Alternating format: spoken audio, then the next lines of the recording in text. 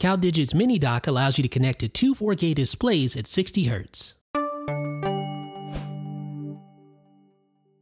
How's it going, ladies and gentlemen, boys and girls? This is Jeff Benjamin with 9 to 5 Mac. I have a couple of new items from CalDigit to show you. These are docks for your MacBook Pro. They are Thunderbolt 3 enabled docks, and they allow you to connect to multiple 4K displays using a single dock that's bus powered. So you have the DisplayPort version, which is right here, and then there's one for HDMI as well. Uh, so we're gonna go ahead and unbox these and see exactly what they're all about um, and discuss why you would need one of these. Well, of course, it's kind of obvious why you would need one of these. If you have a MacBook Pro that's Thunderbolt 3 enabled and you want to connect to multiple 4K displays, this is going to allow you to do that with ease. And there's no extra power adapters needed because it's bus powered. Uh, so let's go ahead and unbox it and see what it's all about. Of course, it's not just about connecting displays. There are a couple of other I.O. options on here as well. So this is the dual HDMI version. Go ahead and open it up. And here you have a little product information, uh, basically just telling you about the product, how to contact support, things of that nature, typical. And then inside, you have the dock, and that's pretty much it. So that's all that's in this box. Nothing else in here. You have the dock, which is, like I said, aluminum. So we're gonna go ahead and unwrap it here. Again, this is the HDMI version. So here it is, folks. This is the CalDigit Thunderbolt 3 Mini Dock HDMI. Uh, so again, single Thunderbolt 3 cable. Uh, it's not going to work with USB-C enabled MacBooks like the 12-inch MacBook. You will need Thunderbolt 3 in order to use this. And the really nice thing about this is that the outer shell, at least most of the outer shell, is made out of aluminum so in most cases, it should stand up to wear and tear better than an all plastic build. Now down front, you have several ports. You have two HDMI ports here on the front. You also have a USB 3.0. This is a uh, five gigabits per second connection. It's a USB-A connector. And that's great for, of course, MacBook Pro owners who need access to legacy USB-A connectivity. And then you have a USB 2.0 port, which is interesting in this day and age. And you also have a gigabit ethernet port as well. On the bottom of the device, you'll see it has two rubber feet to keep it from sliding around on your desk. Now the Thunderbolt 3 cable, as you can see, isn't very long, but that's actually not necessarily a bad thing uh, because it's easier to travel with.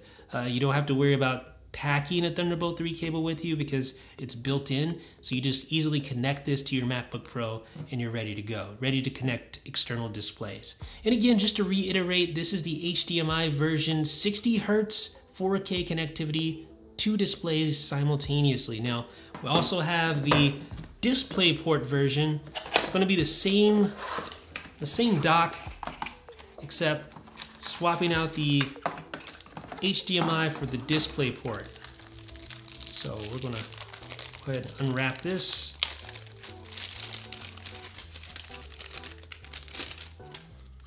So you can see there down on front, there is actually one extra difference with this one. You can see you have the two DisplayPort connections, you have the USB 3.0 connection, but you don't get that USB 2.0 connection like you do on the HDMI uh, version. So that's something to keep in mind. Probably not going to affect mo most people, probably not going to matter to most people, but just something to note anyway. And then you also have your gigabit ethernet connection as well. Same type of cable, same exact device except for the I.O. Little differences there obviously between DisplayPort and HDMI. So here they are together. You can see they look very similar. Uh, here's both docks. Same exact size, same form factor, same design, same build materials. So you would just choose whichever one works best for your particular setup situation. If you have HDMI enabled displays or if you have DisplayPort enabled displays, then you would choose accordingly. Now, unfortunately, I only have one DisplayPort enabled display on hand. However, I do have two HDMI displays on hand, so I'm gonna connect the HDMI version and just make sure I can connect at 4K 60 Hertz just to test it out.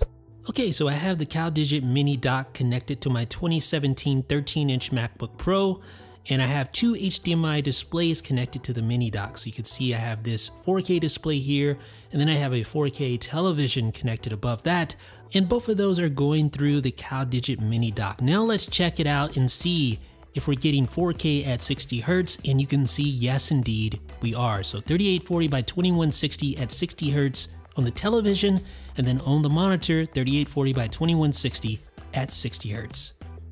I have to say that after testing it, I'm pretty impressed with the CalDigit Mini Dock's plug and play performance. If you've ever tried to connect one 4K display to your MacBook Pro over HDMI. You know how finicky it can be sometimes? Sometimes it's difficult to get a 4K connection at 60 Hertz, but this did it with no problems on not just one display, but multiple displays, two displays at the same time. Uh, it was truly a plug and play affair. And it also is useful because you get additional I.O. It's not just about connecting displays. You get a gigabit ethernet connection, you get a USB connection, so you can truly use this as a single set it and forget it dock solution. You could have for instance, an external drive connected to the USB port, you can have two 4K displays at 60 Hertz, and you can have gigabit ethernet all from one bus powered device. Pretty impressive. Now both of these units retail for around 100 bucks. The only other nitpicky complaint that I have is that the color, the space gray color, doesn't exactly match the space gray of the MacBook Pro, but given the fact that Apple can't decide on what actually is space gray, it's hard to complain.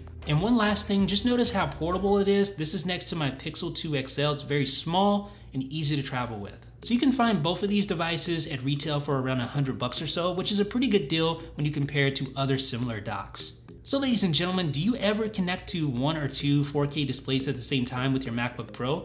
Would you consider using the CalDigit Mini Dock? Let me know down below in the comment section. This is Jeff with 9 to 5 Mac.